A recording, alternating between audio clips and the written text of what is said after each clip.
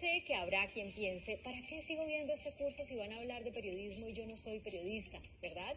Les aseguro que este curso también será de gran utilidad para quienes no son periodistas ni planean serlo. ¿Por qué? Porque nuestra vida es una entrevista permanente.